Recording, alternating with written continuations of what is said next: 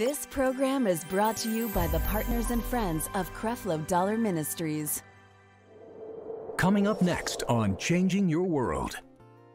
I believe if you'll start praising God today, it'll cause you to focus more on God's word. It'll cause you to focus more on what God has to say about some things rather than you focusing on your problems. Everybody's got some issues, but you've got to decide what you're going to focus on. And praise is going to help direct your focus on God's promises. Creflo Dollar Ministries TV app brings you live church services direct to your smart TV and much more. You'll also get access to Changing Your World Network, streaming grace messages and exclusive content 24 hours a day right in the app. Get unlimited streaming through Roku, Amazon, and Apple TV absolutely free. Visit your app store, download the Creflo Dollar Ministries TV app now to start streaming. For more information, visit creflodollarministries.org. is your world, so let's vow to make it a better place.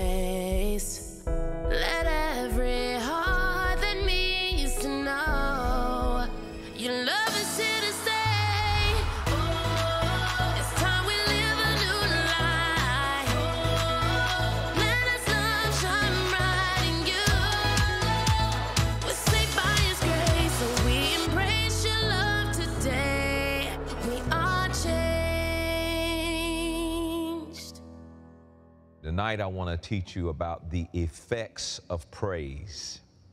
The effects of praise. Now, I want you to listen to this as we go through the word on this tonight. Uh, the amount of time you spend praising God, think about that. Look at and evaluate your life where, where that is concerned. How much time do you spend praising God? Uh, is that something that you do only when you're in the church building? But, but, you know, what is the motivation behind me spending time in praising God? Well, that's what I want to try to accomplish here tonight. The amount of time you spend praising God is the greatest single indicator of where you are in your relationship with the Lord. The amount of time you spend praising God is the greatest single indicator uh, of where you are in your relationship with God. It, it'll help you to locate where you are in your relationship with God. And, you know, as far as Taff and I are concerned, it's, it's everything starts at that relationship we have with God and it goes uh, from that particular point. You know, there are times of conflict. Yet there are times of conflicts where we should be praising the Lord the most. Uh, in, in those times of hard uh, confrontation, in those times of frustration, in those times of stress, that's probably where we need to begin to praise God the most because the three things I'm going to share with you tonight, praise will do these three things, and I hope that this motivates you to begin to do it more.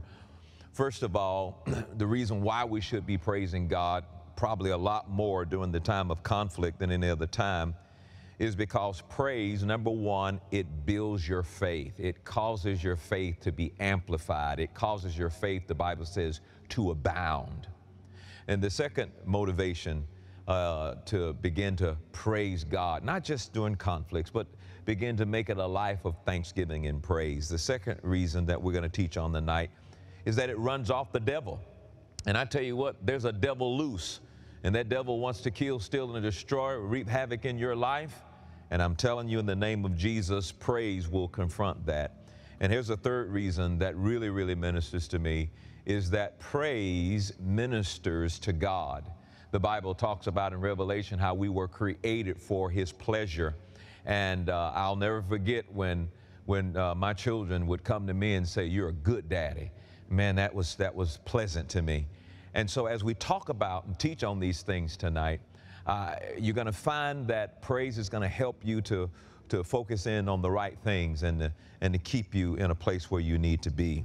Praise shouldn't be the caboose that follows along the circumstances in your life, it should be the engine. It should be the engine driving your life. It's not the, when I say caboose, I'm referring to a, a, a, a train. It shouldn't be the thing that comes up at the end. It, it shouldn't be, well, I'm going to praise God now that all the circumstances have turned out right and everything's doing it needs to be. It shouldn't be the, the caboose in your life. It should be the engine. Praise should be something that's driving your life. It, it, it, it changes your circumstances. Uh, and and that's a, that's the thing that I'm learning more than, than ever before, is that the praise of God is, is, is praise and thanksgiving is something that I do in my life. It is a result of my relationship with Him that I'm praising Him. And I'm not having to wait to see how it turned out. I'm not having to wait to say, well, that thing turned out well or, or that didn't turn out so well. Uh, no, I want praise to be the engine that drives my life. I want praise to be the engine that, that, that um, really motivates me and causes me to just live this life of praise. It will change your circumstances. Let's go over to Colossians chapter 2. Colossians chapter 2, verses 6 through 7. Colossians 2, 6 through 7. Let's read that in the King James and the New Living Translation. Colossians chapter 2, verses 6 through 7. I want you to notice something here because I really do believe that your, your faith is going to be amplified when we begin to, to, to operate in praise. Notice what he says in these two verses of scripture. In King James first, he says, As you have therefore received Christ Jesus the Lord, he says, so walk in him. Verse 7 rooted and built up in him and established in the faith. Established in the faith as you have been taught and then he says, abounding therein with thanksgiving. Abounding therein with thanksgiving. So not only walking in faith, but seeing that faith increase in thanksgiving. Look at this in the NLT. Um, he says, And now, just as you accepted Christ Jesus as your Lord, you must continue to follow him. Verse 7, he says, Let your roots grow down into him. Praise God and let your lives be built on Him. Then your faith will grow strong in the truth you were taught, and you will overflow with thankfulness. I, I, I believe that when, when an individual begins to operate in thanksgiving and, and operate in praise, it will, it will cause your faith to overflow. It will cause your, your faith to be amplified, and it will increase your faith. And so uh, praise is, is a high form of faith, I believe. I believe it's something that if you do it, you're gonna, you're gonna see some amazing things happen as you know, your faith goes to appropriate and take possession of what Jesus has already made available. There are lots of Christians um, that they may know that certain things have been made available to them by Jesus Christ, but have not yet really learned and mastered how to take possession of those things. And so during difficult trials, uh, abounding in faith includes praising God as you wait for the manifestation of His power to bring you through. And this is during, it's, it's during times that we're going through right now. It's during the time of a pandemic. It's during the time of trying to you know, uh, figure out how you're going to pay the rent and all your money spent, a little bit to buy some food, baby need to pass you. This is the time to praise God. This is not, well, I'm going to praise God because I feel good, or I'm going to praise God because we're in church and I just, no, no, no, no. This thing is a weapon. This thing is an amplifier. This is a high form of faith. Just think about that. For me to praise God for the manifestations that I know will come forth that's a high faith, man. That's a high form of faith. And during difficult trials, abounding in faith or increasing in faith during those difficult trials. And that includes praising God as you wait for the manifestations, as you wait for His power to bring you through those situations. In fact, look at Psalms 34 in verse 1. Psalms 34 in verse 1. I believe that praise will cause your faith to thrive again, amplify or to thrive. And that, that just really got my attention that I'm not, I'm not just praising God, you know, for show.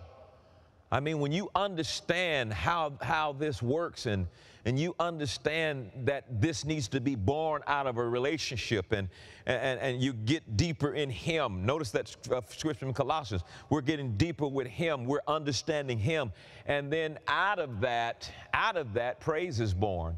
I, mean, when you begin to understand how much God loves you, then you're going to want to, out of that relationship and understanding, you want to want you want to read those love letters. That's the Bible and then you're gonna you're gonna want to go and and, uh, and and and talk to the one that wrote those love letters. That's prayer.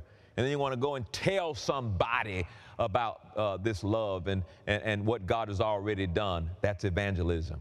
And, and, and what I'm trying to do is just yes, I understand all of those little you know religious positions and all that, but I, I want to simplify it. Let's everything coming from that relationship. This is what Christianity is about. It is the opportunity for us to have a relationship with Jesus Christ. And so I believe that out of that relationship, praise is born. You get to start looking at what God has done and how He's delivered you. Out of that relationship, that thanksgiving is born. And then all of those things proceed out of that relationship that has given birth to all of that. I like what he says in verse 1. He says, I will bless the Lord at all times. His praise shall continually be in my mouth. Man, what happens to a person who sets his mind that says, I'm going to bless the Lord at all times, the good times and the bad times, and I'm going to make sure that his praise is continually in my mouth.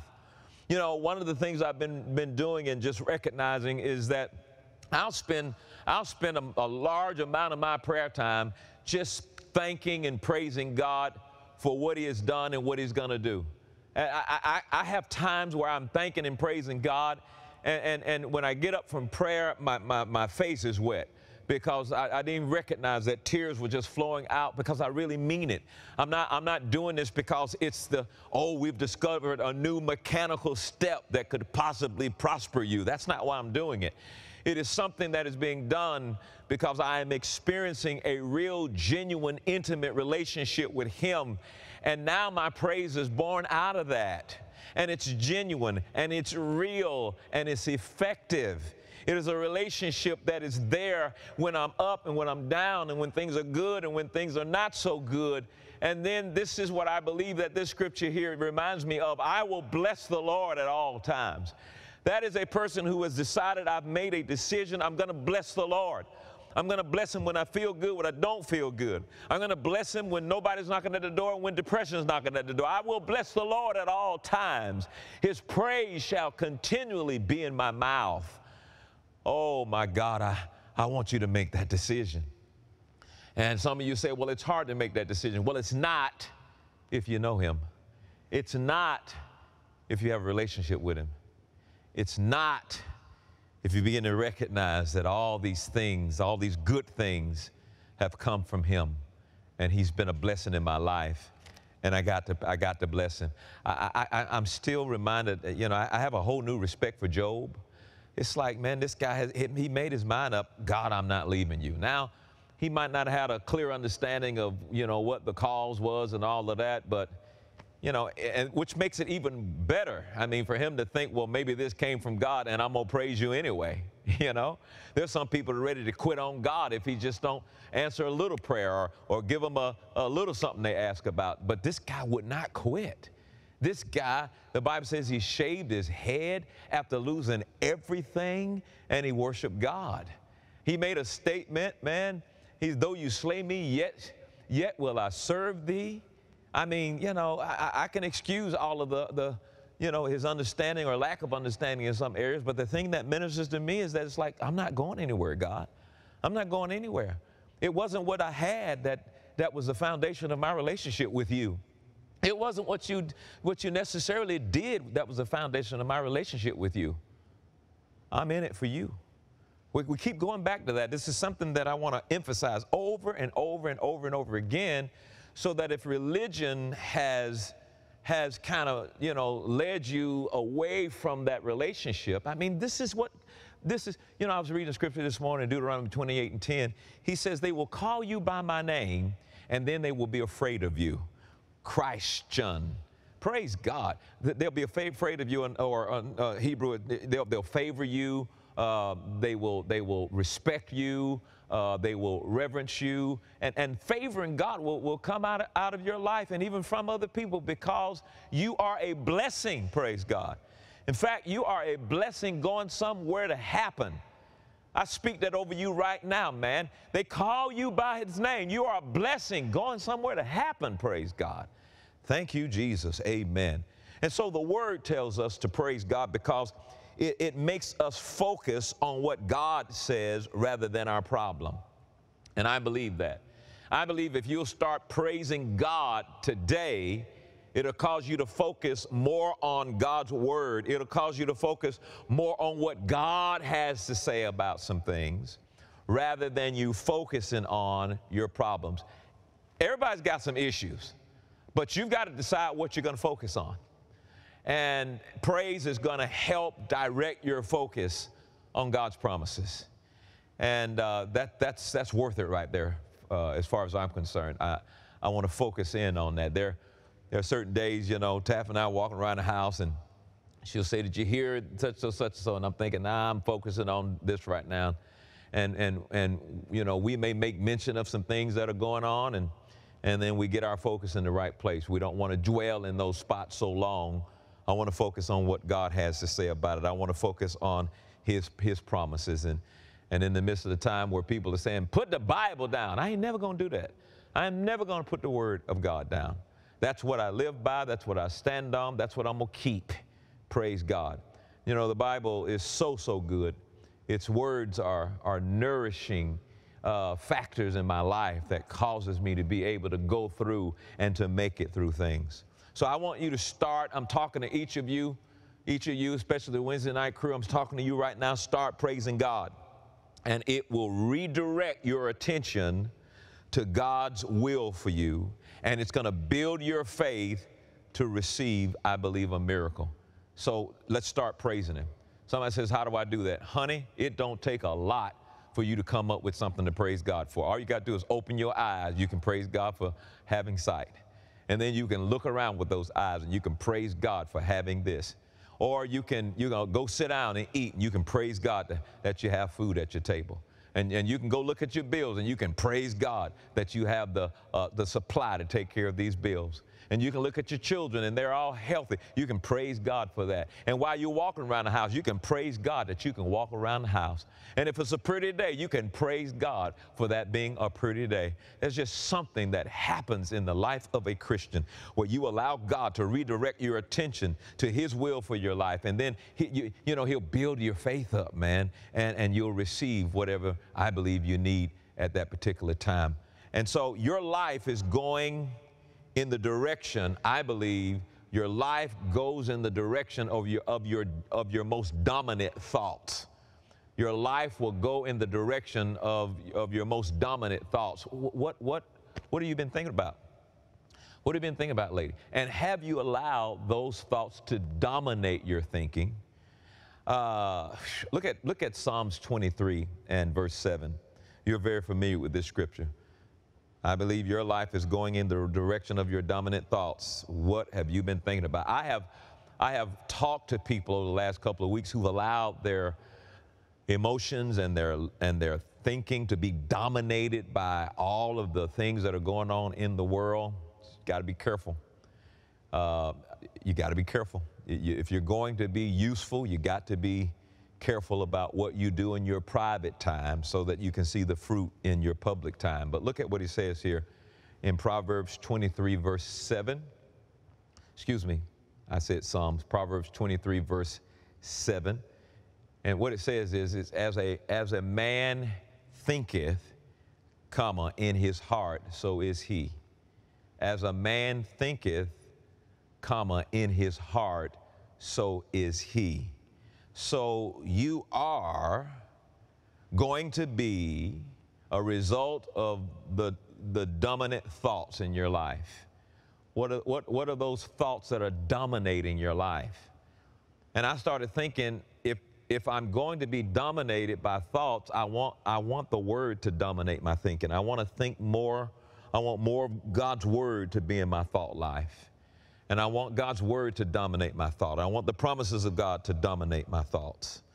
And so, whatever you think about and focus your attention on determines the course of your life. I believe that. I, have seen that done. I have testimony after testimony about that. And something so simple as, you know, changing what I'm thinking about, changing my focus. Bible says attend to, to, his, to, to his word. And so, what are you thinking about? What, what, what's your focus? What are you focusing your attention on? That's going to determine the course of your life. And I started believing that, and I, and I started making a change. When I first, you know, heard that and realized that, I thought, oh, that's, that, then, you know, whatever, that, that's, you know, what is that? And, and you got to be careful not to exalt things that are less important over things that are more important. This, this word is more important. This word is more important and, you know, if, I, if I'm thinking crazy things and crazy thoughts, that's going to be one thing. But when I allow my thinking to be governed by God's word, the course of my life is going to be is going to go going to be determined and I'm going to go the right way. Somebody says, "Well, I don't believe that. That's just words." Well, see, that's probably why you are where you are right now, because you're not going back further enough in, in, into the thing, the roots. The, roots are determining the fruit in your life. The roots are determining, you know, why you do what you do, why you say what you say, why you feel like you feel, why you act like you act. And, you know, whether you believe in a God or not, whether you believe in a devil or not, a heaven or hell or not, it's, it's, it's still true. You're going to have to allow your thinking to be on the promises of God so that the course of your life can be set. So, I thank God. I thank God uh, for the answer and, and not the problem. I thank God for the answer and not the problem. And sometimes it feels weird saying, Praise the Lord concerning a weird thing, but I'm praising God for the answer, not the problem.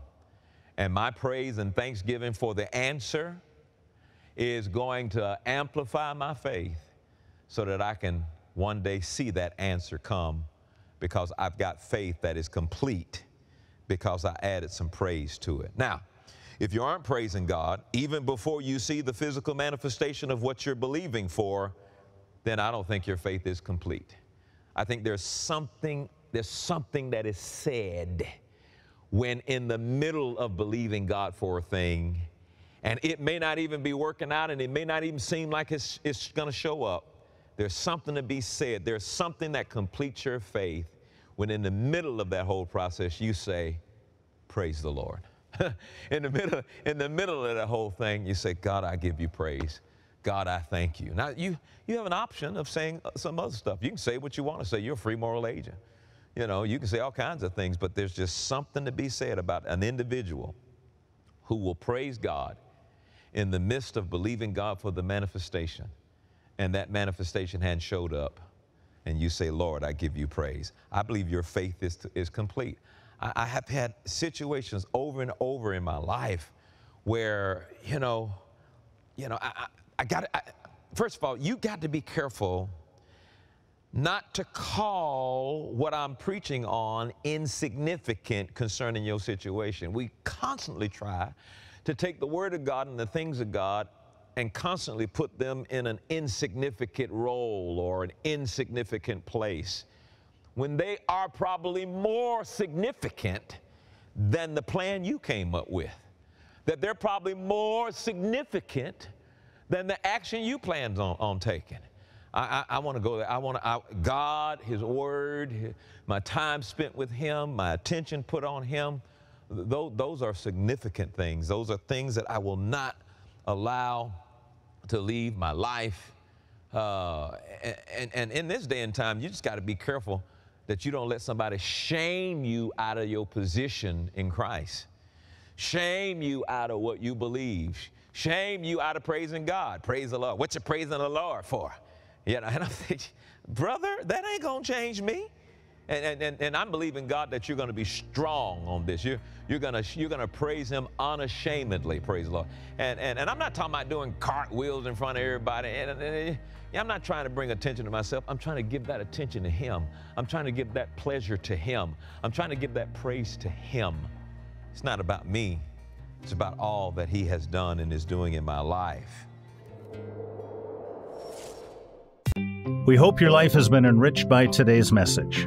The entire message series can be purchased at Creflo Dollar Ministries e-store. Visit us at store.cdmcanada.ca. Call us toll free at 1 877 556 0668, or if it's more convenient, email us info at cdmcanada.ca.